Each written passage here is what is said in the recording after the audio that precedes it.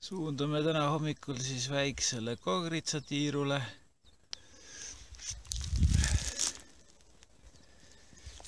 käisin siin ennem juba ringi peale ja tean, kus nii mõnigi asetseb.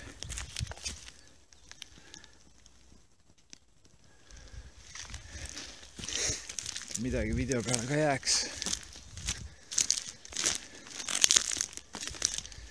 nii, siin on sihuke ilus paras raiesmik.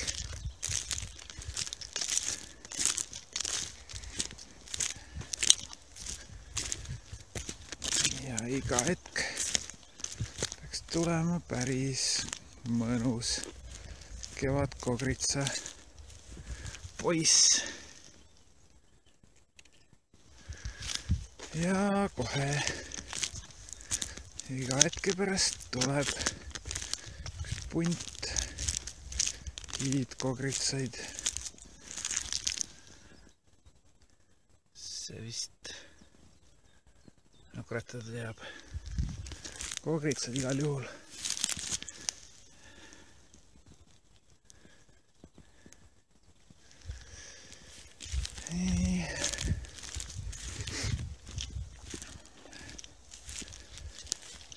Siin nagu võiks olla, aga ei leidnud.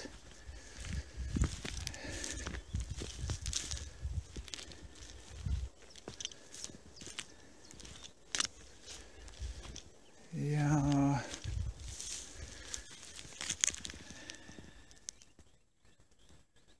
midagi peaks saama. ja see ala kõik läbi uurimata veel, nii et päris tühjade kätega öö ei lähe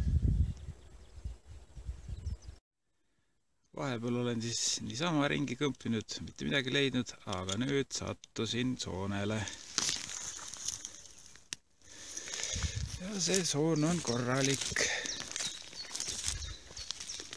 korra vaatame, nii palju siis praegu.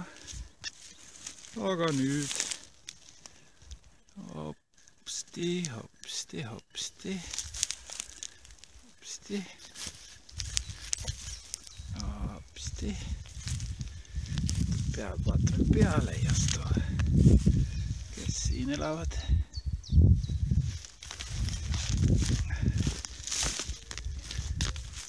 päris ämbrit täis ei saa, aga puudu ka ei jää väga.